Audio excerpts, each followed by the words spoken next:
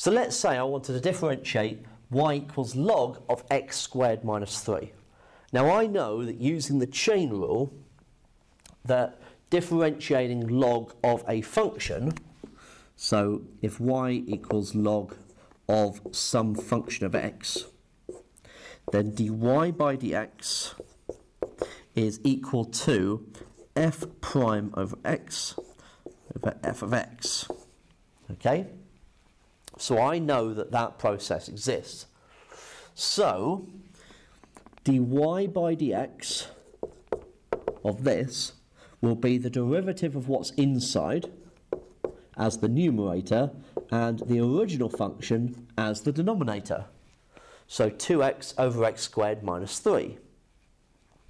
So if I had the integral of, let's say, um, 3x squared over x cubed minus 5, okay, then what I need to think about and look for um, is, is the derivative of the denominator in the numerator, which in this case it is.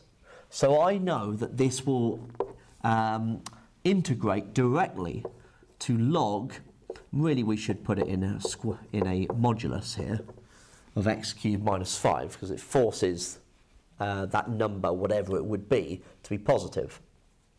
Okay? So that's really the concept here. You're looking to see if the numerator is the derivative of the denominator. And if it is, then you can use uh, reversing the chain rule to integrate it. Okay? So another example would be something like, um,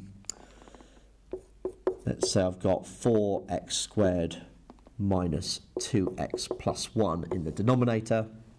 And I had, um, let's say, uh, just trying to do everything in my head, uh, let's say 32x um, take away 8 in the numerator. Okay? So if I've got that, then what I need to look at is that 4x squared minus 2x plus 1. So if I differentiate that, I get 8x minus 2. Okay? So, is 32x minus 8 a multiple of 8x minus 2? And yes, it is, right?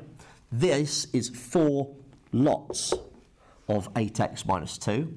So this must be four lots of log of 4x squared minus 2x plus 1 plus c.